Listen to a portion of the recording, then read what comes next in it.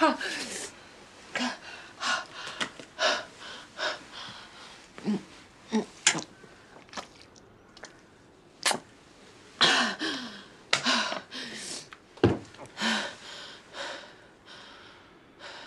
were gone I think you were coming back. Been busy. When are you gonna let me go? When you've served your purpose. I had to get the green light from HQ you're joining the firm. Lesson one, the drop-off. You and a car full of cocaine. If the police pull you over, turn on your businesswoman act. That's not an act, that's my life. I mean, I could go to prison. So don't get caught. Callum, this is a really bad idea, okay? I would be so nervous, I'm bound to screw up. Yeah, but no one calls me a grass and gets away with it. So this is how you salvage my rep. Just as soon as my contact texts me with a location, Please call them and tell them that you'll find someone else. I don't call them, they call me. And you've got no say in this, Leyla. They're not the kind of people you mess with. Who are they? You don't want to know. Nor does your precious Jacob.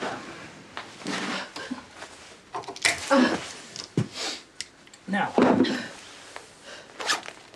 make yourself look decent. Did your contact not message her? Nope, Do you think maybe they pulled the job? they wouldn't do that. You must have a number. They always call me. They were on board earlier. Why would they go cold now? They've cut me loose. This is how it happens. You lose their trust and you're gone. Your fault. You shafted me.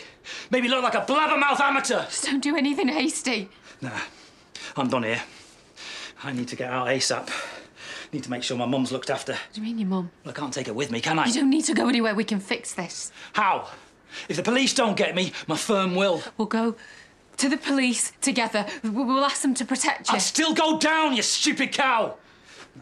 No, I'm better off starting again in some foreign dump. You're gonna go abroad? Why? You know anywhere nice? What about me? I haven't figured that out yet. Mum, please stop crying. Look, I said I'd fix it, and I will. Mum, Mum, She okay? did it sound like it? Well, I'm sorry. Uh, Well, it's your fault. Sending the police round our house again, shaming her. I wasn't the one who was dealing drugs. Oh. Yeah, all right.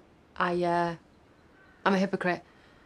Because when I was using, you were top of my contact list, and I wasn't worried about your morals then, was I? I just wanted my fix, and well, if I hadn't got it off you, could have got it off a million others. So you know what, Callum? Carry on. All right, I mean it. I will never report you again or mention your name to anyone. Please untie me. Please, Callum, untie me and open the door. And I will walk out of here and it will be as if this never happened. Shut up! You're, you're so ignorant! I know that you're scared because this has gone too far, but we can turn it around. I said, shut it! You're really winding me up now! We used to be mates, didn't we? You know? I know that you are not a bad guy. Don't you dare blame me. You did this, Leyla. It's all on Yeah, you. and we can change it. Keep your mouth shut, or I will kill you.